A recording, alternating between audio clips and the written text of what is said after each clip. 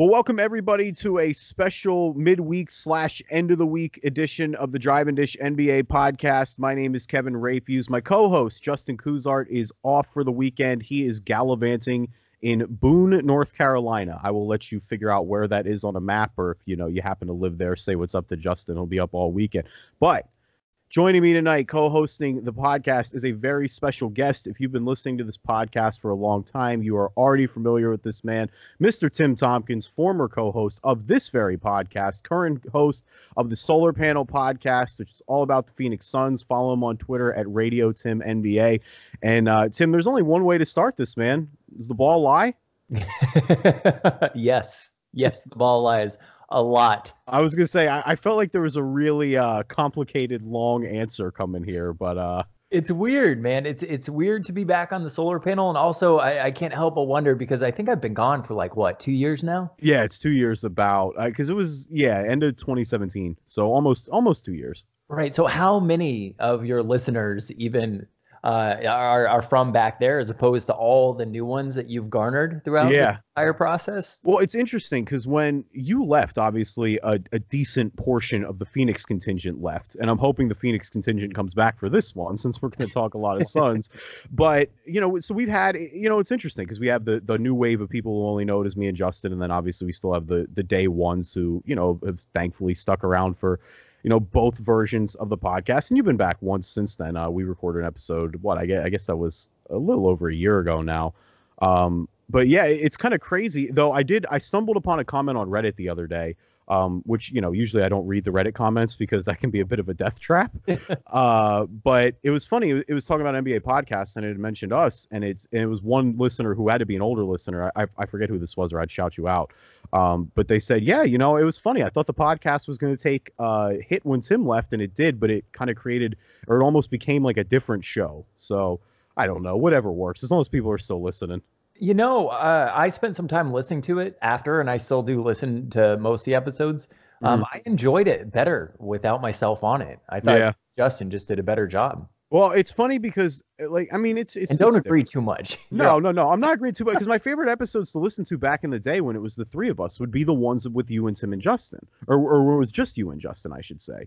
Um, I don't know, like, eh, I mean, but that's always with me in general too. Like, I don't like do you go back and listen to solar panel after you do it? Like i only really listen to segments if i go after and record it because you know it's stuff like we lived it. So it's you know unless somebody's roasting me over a comment i made i'm just kind of like well you know we had it.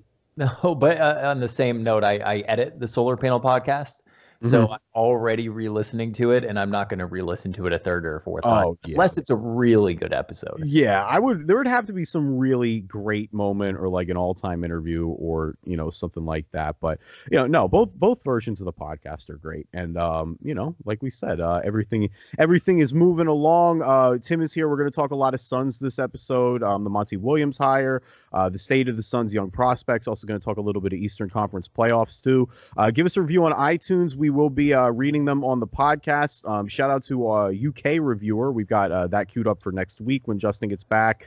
Uh, you know, we're on that quest to get to 200 reviews in America. Rate us on iTunes.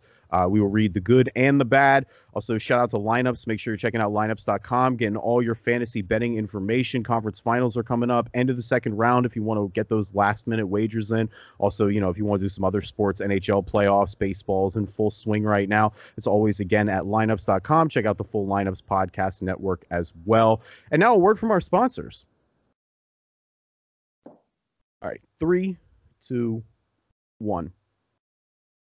All right, so Tim is here. Uh, really, it's been, you know, it's kind of destiny that this is ahead of the draft lottery, and you know there will be a whole lot to talk about afterwards. But you know, want to get some of that pre-talk in with Tim before the, uh, you know, before the ping pong balls were all fully decided. But before we get into that, um, you know, the, the Suns have been in the news recently. Really, first it was the firing of Igor as the coach, and I think they got a lot of flack for that. But it's really interesting because I think as soon as the Suns hire Monty Williams, you know, if there was a coach who could be like, uh, well, maybe this isn't so dysfunctional after all. It's Monty, a guy who's you know pretty well respected across the league, has been a head coach before. You know, currently an assistant with the Sixers right now. Um, you know, much has been made of his relationship with Kevin Durant, but really, you know, Monty Williams is one of those guys who, you know, he just garners game up. Uh, there's never really anyone that talks ill about him. so you know, I'll ask you. It, has been really a, a, coaching carousel over here in the last five seasons. But you know, are you thrilled with the Monty Williams hire? Do you feel like this is bringing the stability that the Suns need? Because I mean, that's the thing from the outside looking in is the Suns need the most is stability. It has been an absolute roller coaster with this team uh, between uh, coaching hires and and trades and a lot of really crappy point guards and injuries uh, and a GM being fired and a new interim G- GM and then that GM being promoted. You know, I'm sure we'll get into the the Jeff Bower hire at some point.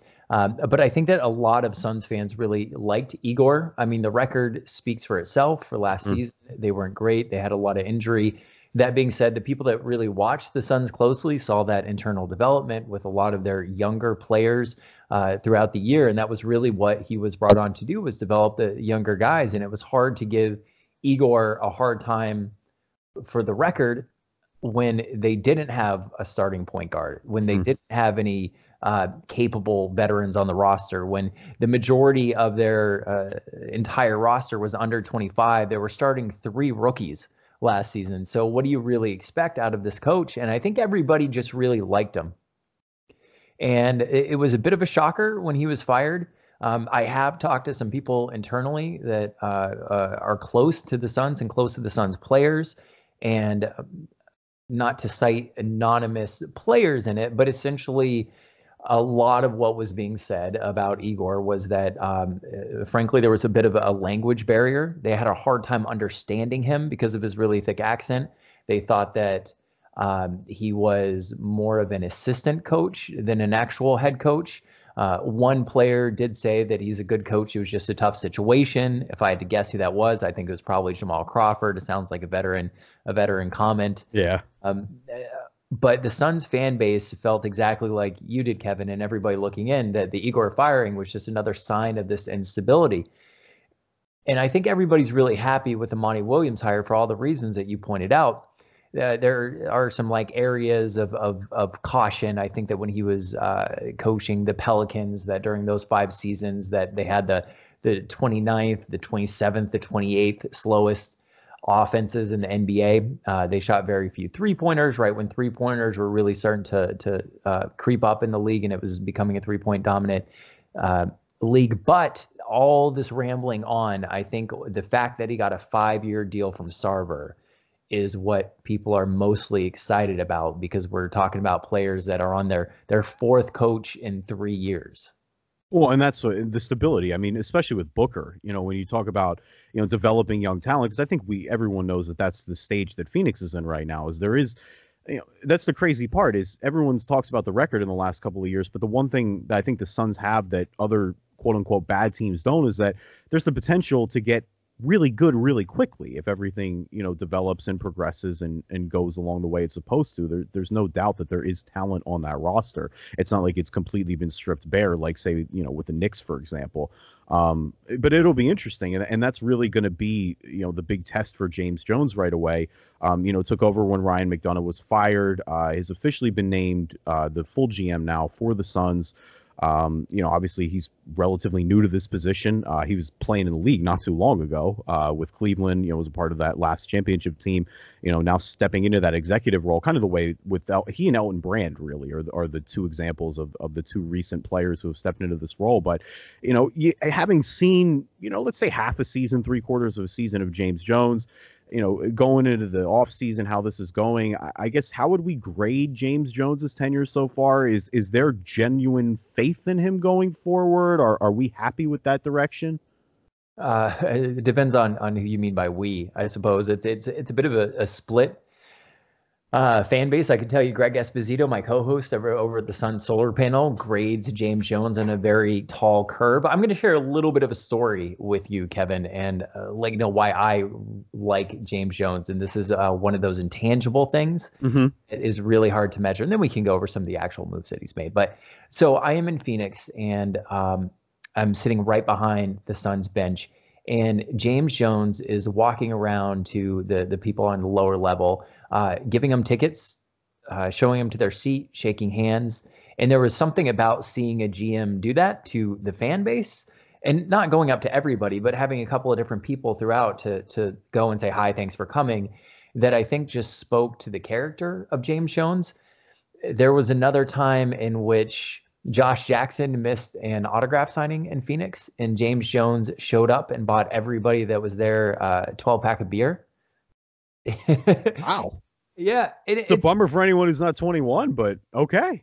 Yeah, no, and and so obviously you don't want to grade a GM based on those types of things, but I think that a part of the issue that the Suns have is they have had Robert Sarver as an owner, and I don't want to spend a ton of time talking about him. Everybody knows about yeah. Robert Sarver as an owner. It's uh, cliche at this point to ask you about him. Like he's a bad owner. We don't need to like really tippy toe around it. The guy isn't a good owner. He's pretty trash. The McDonough goat story is incredible though. That went under the radar in terms of just wild NBA stories. Yeah, uh, and then Ryan McDonough, who I actually thought Ryan McDonough was a really good GM, uh, a, a pretty good GM. He had a plan. He set out. He did it. Um, but he wasn't a people person. He didn't understand relationships when it when it came to to players and to agents.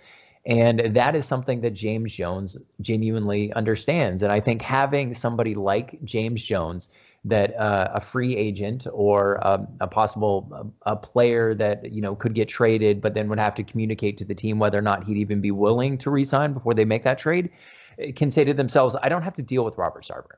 Mm-hmm. I can deal with James Jones, and, and, there's a certain amount of value in that that I think is really powerful for the Suns organization right now. Well, and it's just respect too. I mean, you know, go back to when he was playing the all the praise that Kevin Love gave to him when he was in Cleveland and how much of a, you know, mentor he was for him over the years. And you know, added to the fact that he followed LeBron around and played a key role in that team despite the fact that he wasn't gaining minutes. Like, you know, I, there's something to be said about him maybe not being the most experienced, but at the same time, like emotional intelligence is important. Being able to relate to the fan base is important and being able to communicate with these guys. I mean, look, James Jones has a fistful of rings. So, you know, th- that can speak to the young guys too, a lot of times more than, you know, say an executive, a normal executive can who maybe hasn't played before or who just, you know, doesn't have that clout the way James Jones did with actually being in the league.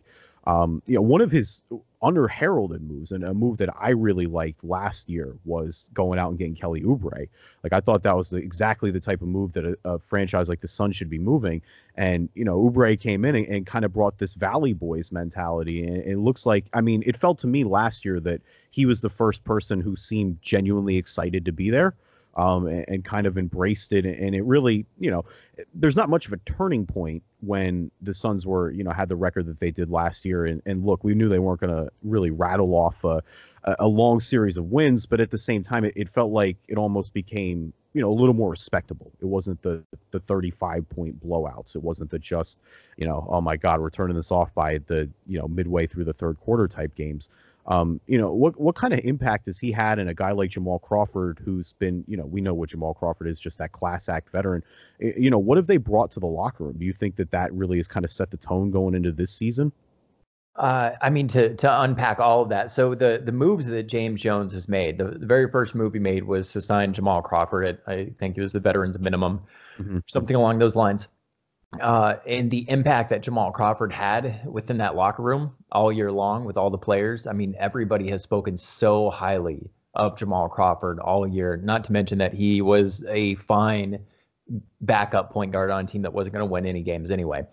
Um, that was a really good move. The fact that he was able to trade an expiring Trevor Ariza for an up and coming wing and Kelly Oubre, who was a perfect fit for this team.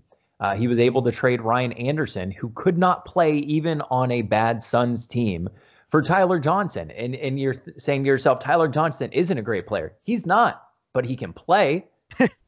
you know, he's he brings value. So you were able to do that. Uh, and then his very last move of the season, he signed Jimmer Fredette. I think that was just to sell some tickets, honestly. So I don't even really want to talk about that one. the the moves his that, advanced stats were incredible. Not like Justin and I had a. I think he was a fallen at one point. Um, and balling and falling, and Jimmer's just, and again, small sample size, so you, you can't run off it, but trapped. it was, oh man, it was, it was beautiful. Uh, uh, he was not good. He was not, but it was the end of the season. It didn't matter you know um, but the, the the moves that he's made uh, all of them were good. None of them set the franchise back. Uh, none of them hurt the roster. None of them hurt the culture. Every single one of those moves were really good. And then uh, there's comments coming out indirectly if you will through robert sarver today saying that if the suns draft morant that they're still going to go out and they're going to get a veteran point guard and that he's going to come off the bench And I, you know, we'll spend a little bit of time talking about the draft, I'm sure, but these are the exact type of things that you want to hear from a GM and the exact type of moves you want to see with an interim GM. And I thought the Monty Williams hire, you know, they, that's it was only going to be okay for them to fire Igor if they could pull off something like Monty Williams from the Lakers for five years. He's made good moves. Yeah, well, and that's the thing. It's again, there's there's a plan, there's consistency. It just seems like they have, uh, you know, it's not like let's just rip it up every year because it's not working immediately and you know things like this take time it's gonna these guys have to develop um, you know real quick because i, I want to get into a, a longer devin booker discussion but i'll ask you first is the is devin booker good the most annoying debate on nba twitter currently ah oh, man so we had nate duncan on our podcast because Nate Duncan and Danny Leroux, uh, they have to be among the most hated. Oh yeah, they hate Booker. Analysts uh, from from Suns uh, fans, and they do. They hate Booker, and yeah. so we're talking about all these young players, and they're saying things like offense really matters, and, and so uh, you know their their uh, offense matters more than defense. So we're going to value certain players higher, but then they value Devin Booker below guys. I can't even remember off the top of my head who was below, but it was like, what the hell are you talking about? Um, Devin Booker, eh, what did he average last season? Like 27, 6, and 6. He's great. Devin yeah. Booker is a damn good player. He's on a crappy team. What yeah. do you want him to do? Well, it's the empty stats argument, and that's always what it is. Is that is he an empty stats on a on? But you know, people say he hasn't helped the team win yet, which I understand that. But it's also like, look at the roster he's surrounded with. I mean, other than T.J. Warren and, and DeAndre Ayton, who on that team before Kelly Oubre are we looking at as can do what type of difference are we expecting to make out here? Who's the secondary guy? I mean, they were and start, that's really they were starting De'Anthony Melton. Yeah, and, well, and that's the cra- I mean, it is kind of amazing that you guys didn't get a single point guard last year. Like, it's really ast- I mean, even like God, Austin Rivers was there and Tyler Johnson is there, but Austin Rivers didn't end up staying, and then Tyler Johnson. I mean, like I guess he's a point guard, but not really. Like he's a shooting guard. Uh, so it was almost kind of incredible. But um, I mean, but going back to book because I think that's replaced Jokic to me because now I think it's it's pretty universally accepted that Nikola Jokic is awesome at this point.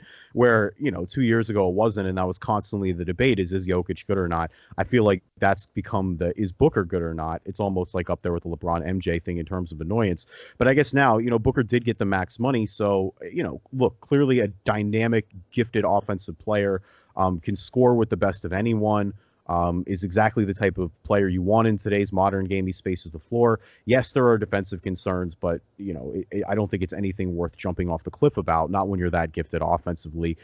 So I guess the question now, you know, having despite the inconsistent development, you know, we've seen a lot out of Devin Booker. You know, what what has impressed you the most? What do you think is, I guess, what do you think his ceiling is? Um, you know, t- talk about his role in the team. What would you like to see out of him going forward in terms like what did Devin Booker need to do to get to the next level? Well, to your point, I think the only thing that's going to calm this is Devin Booker good debate is Devin Booker needs to win some damn games, yeah. and at a certain point, uh, a max player wins games, mm-hmm. and that's just the way it is. So he he needs to win some games. Uh, as, as far as development goes, I mean, you want to say the defense, but uh, you know, at the end of the day, he is a better defender than people give him credit for. Uh, I think a lot of his defensive issues are a bit overblown, and it's because people are watching the highlight highlights and different things like that, and that's there and actually watching the Suns games. He's not a plus defender uh, by any stretch of the imagination, but he is not, according to Nate Duncan and Danny Leroux, the best or, the worst defensive guard in the NBA. You know, that could go to somebody like Lou Williams, for example. It, it, it's just, it's a dumb statement. Uh, I, think for him, the the biggest thing that we saw from him was definitely the playmaking this year, where when he was the starting point guard, he was averaging 9, 10, 11 assists. I think he had a couple of 12, 13 assist games at some point uh, throughout the season. Unfortunately, his hand was a bit hurt this season, so his three point shooting wasn't as good as we would like to see. Uh, uh, where what would be nice to see from Devin Booker is in clutch situations. So you know, within five points, three minutes left in the game. Uh, he has a usage rate of about 70%. And I think it would be nice if Devin Booker could learn to trust his teammates a little bit more in those situations. I think that that would make them closing out games not be quite so predictable, and that would be a big step forward. Um, and then if he is going to improve on his defense, his on-ball defense is fine. It's his off-ball defense that that could improve. There's times when you see players playing defense. One of the underrated things that you're looking for too is that even when they aren't the person that's covering the ball. They have their hands spread out, their arms spread out on the floor, and a lot of the times Devin Booker just doesn't. And I think picking up little habits like that will really go a long way with him. Well, and you talk about trusting his teammates. I mean, the one teammate he's going to be paired with a lot, and really whose growth is going to be tied to is, is DeAndre Ayton, last year's number one pick. Um, you know, unfortunately, this season he dealt with a little bit of injuries in his own regard. Um, it felt like every time he was rolling, there'd be something. Um, but still, overall, I mean, the reality is, is he was pretty productive and he was on the floor. Um, you know, looks like he has that offensive game he was built to be. Definitely a little defensive concerns, but I don't think it's anything that could be worked on. But you know, injuries aside, what were your year one impressions of Ayton? He improved dramatically on the defensive end throughout the year. Uh, and that's something that went largely unnoticed because by the end of the year, again, nobody was really watching the damn Suns. Yeah, and I don't blame them. Uh, it was hard to watch uh, for certain points of it myself, but uh, I love the team, and uh, you know we have the Sun Solar Panel podcast, so I had to. Ayton was good. Uh, he was everything that I thought he would be coming out of college. And I think if you like Ayton or you don't like Ayton, that statement holds true. Well, I think he had the thing with Ayton was you knew what his floor was, and his floor was really high. And when your floor is that high, it's like, well, if if, if he doesn't develop at all remotely, you're going to have a pretty gifted offensive center who's a little bit of a liability on the defensive end, but still, like his floor is a really, really good center. And you know, like you said, as that goes on, I mean, do you think it? How much of it do you think is his motor? Because I felt like almost it, it seemed like he was a little lackadaisical on the defensive end, and it just feels like even with as he gets more into NBA shape and you know isn't dealing with the injuries and is playing more and more minutes, it feels like that'll come. No. Yeah, that that was a big issue. I mean, there were definitely certain points in which Igor could not play Ayton for very long stretches of games, so we saw saw a lot of Richaun Holmes. Mm-hmm. Yeah, Ayton would be the perfect player if he had Richaun Holmes' motor in his body. Yeah. That being said, his true shooting percentage uh, some somewhere around 59%, which is the highest for an NBA uh, uh, rookie uh, NBA center in history, above Shaq and all those guys. I think he averaged somewhere around like 17 and 12. Like he was he was very good. The issue is always going to be Ayton was good. Did you want to take a number one pick as a center in today's NBA when you had Luka Doncic sitting right oh, there? Yeah, no, I, I, know. I didn't really want to bring that up. And you were pro Luka for what it was worth. Like I remember. I'm pro. I'm, I'm. I think Ayton's great, but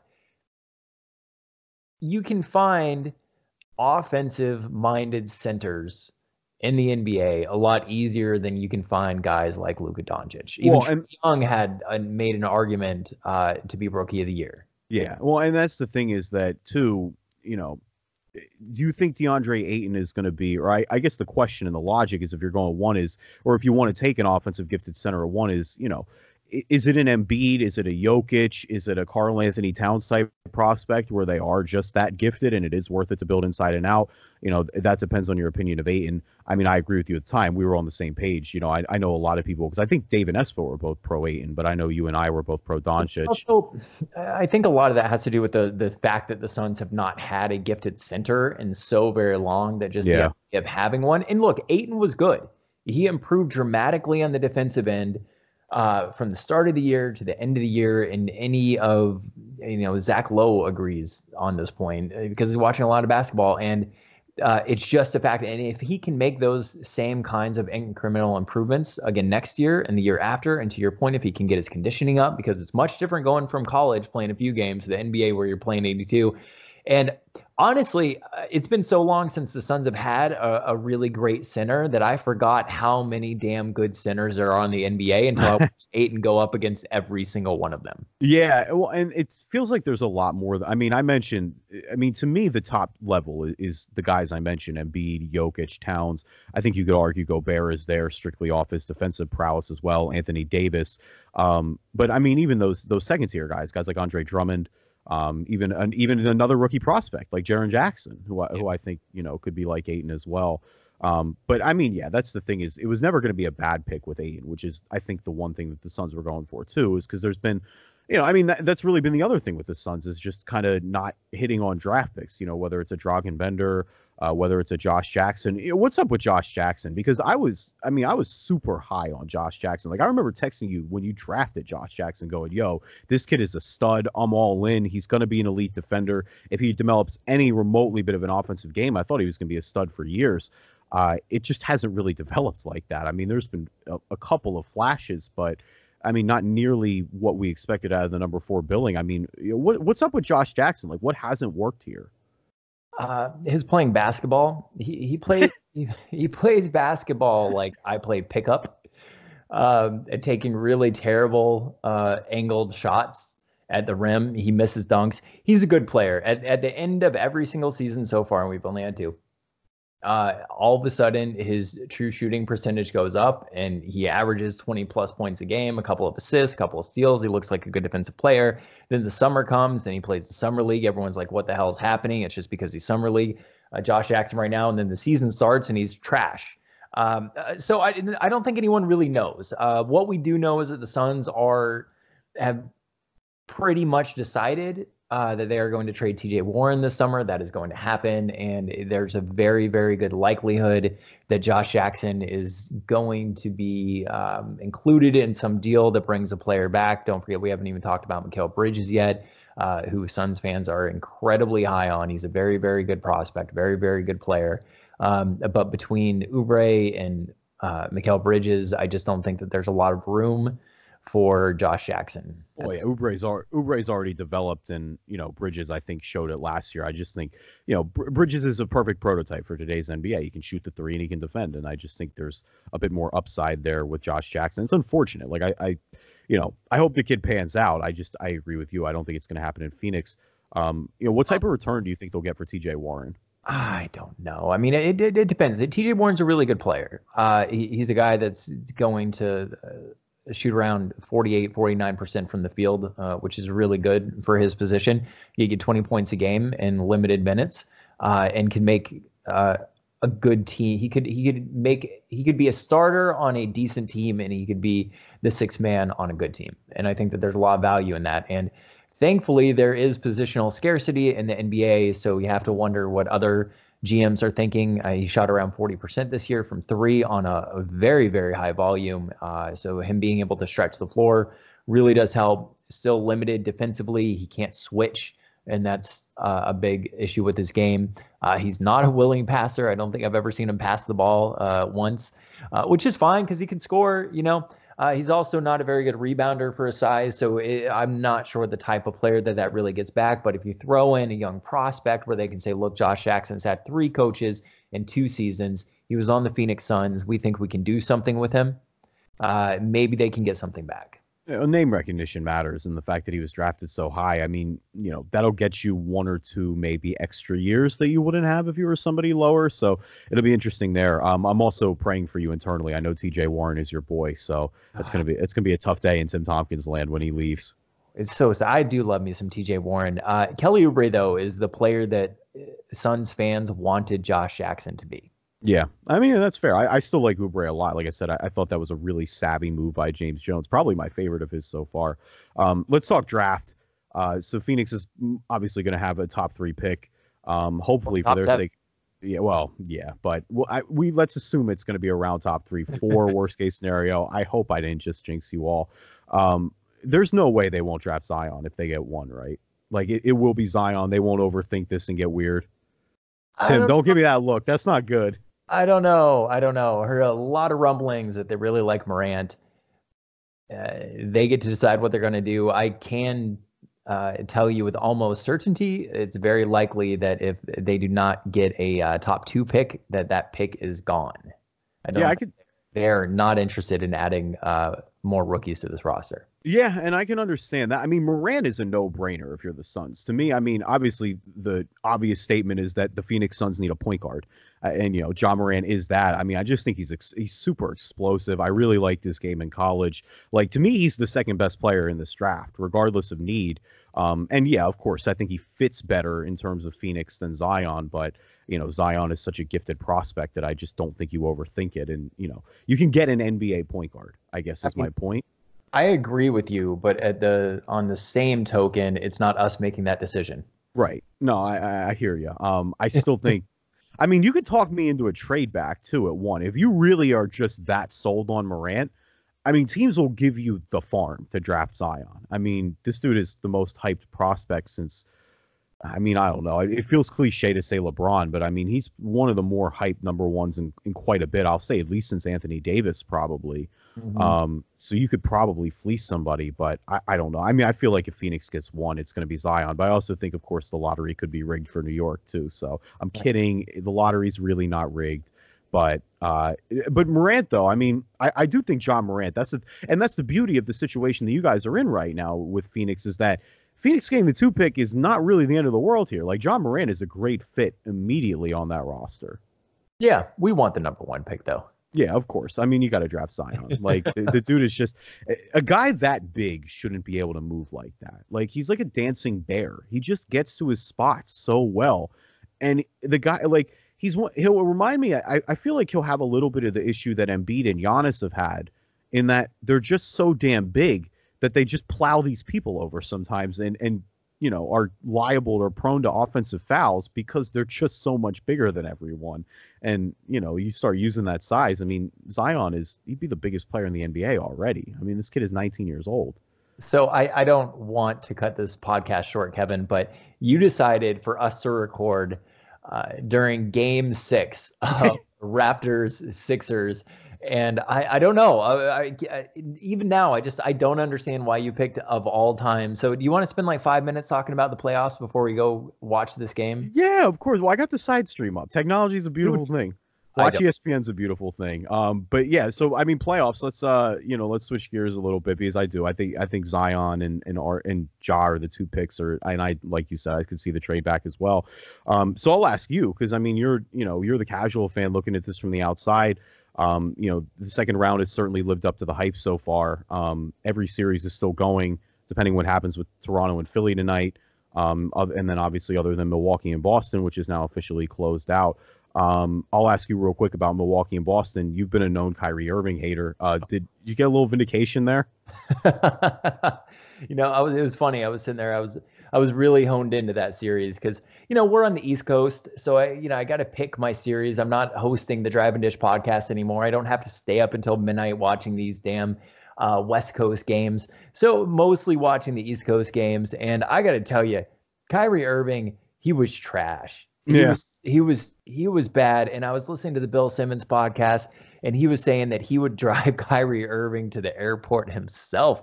what a, that, see that's delicious just because of how much smack Bill talked all year. Uh, it was really crazy, like just to see how quickly that devolved.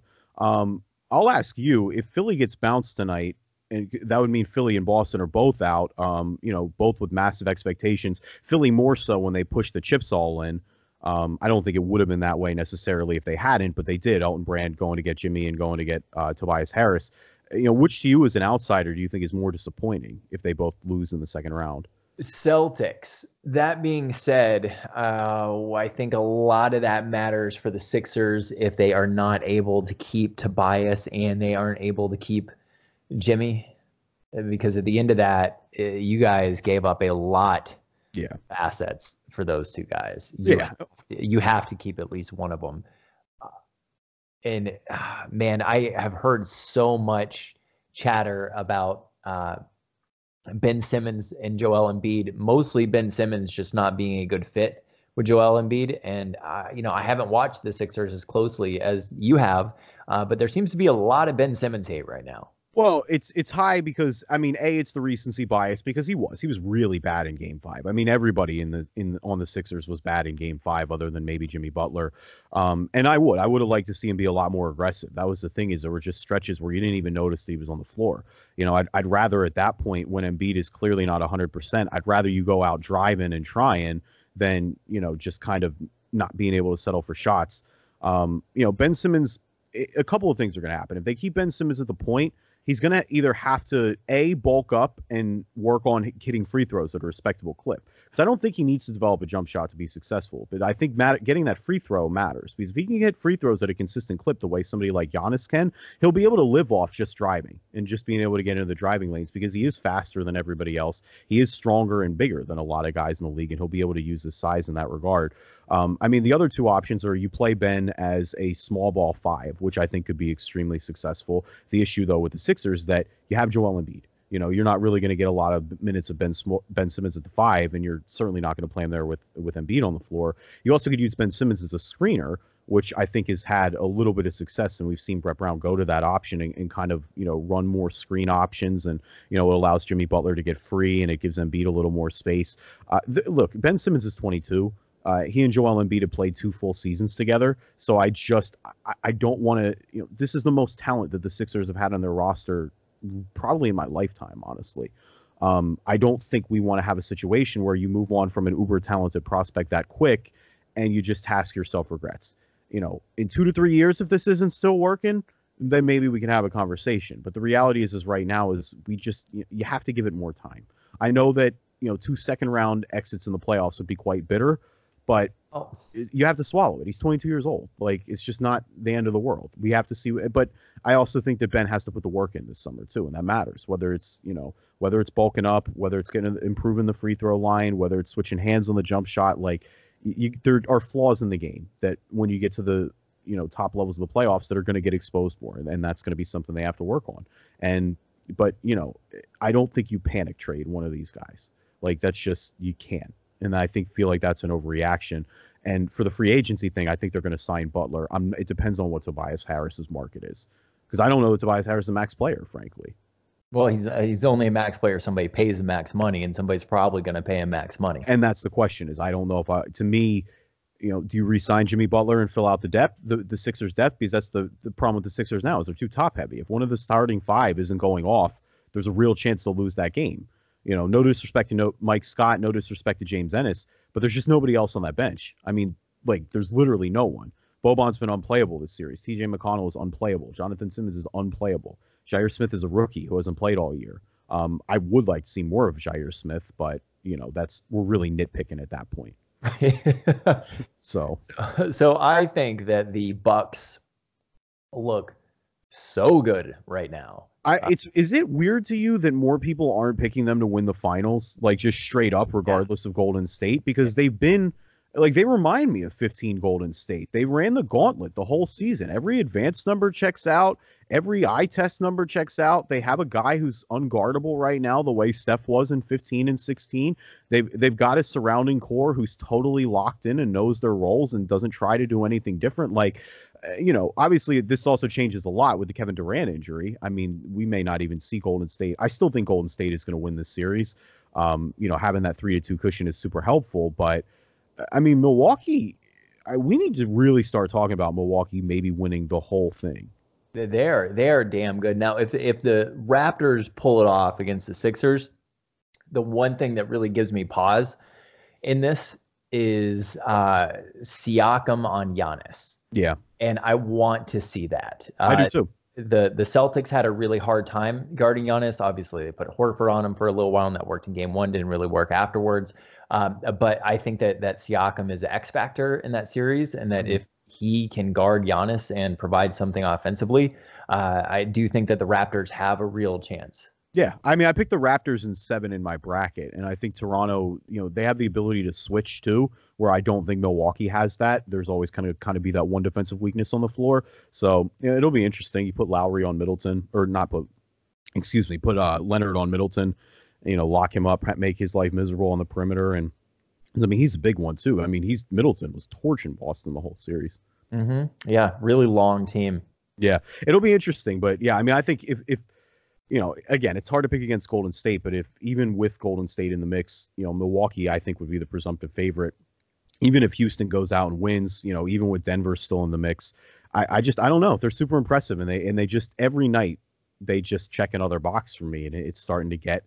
I don't know. It, it feels like they could even take Golden State. I'm again. I've said all year that I've had Golden State winning, and I'm not just going to jump off the bandwagon because Milwaukee beat Boston the other night. But whew, that squad can play man, uh, poor Paul Pierce.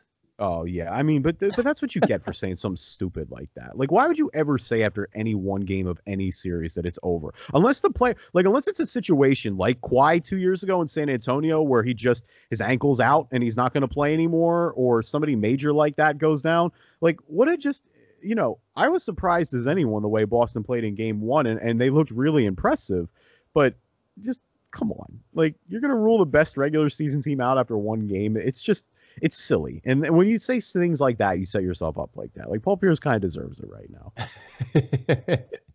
it's so easy to to make these takes. Uh, even in just in your head, you know, I'll be talking to like friends about basketball, and there's one game just happened, but it's what you were talking about earlier with that recency bias, and you see a, a team really uh, dominate another team. You're like, how can this other team ever, you know, compete with these guys? But then you got to remember they make adjustments, and yeah, teams are good, and then uh, you know, it's a, it's a, a make or miss a league. On yeah. that note, though, Kevin. I do have to go. Yeah, we got to get out of here. I was your team right now in the. I no, me too. Thank you everybody uh, for listening to this episode of the Drive and Dish NBA podcast. Check out the Sun Solar Panel. Follow Tim on Twitter, Radio Tim NBA. Uh, yeah, recency bias is crazy. The Sixers were winning the finals after Game Three, and we were blowing the process up after Game Five. It really is an incredible thing. uh, Tim Tompkins, a pleasure as always, my friend. You know, uh, I'm excited. You know, may the ping pong balls be in your favor. I guess that's the next time we'll talk is after that. So, yeah, we'll see. Thanks for having me on, Kevin. I appreciate it. Trying for Zion. Yeah, that doesn't work as well, but oh well.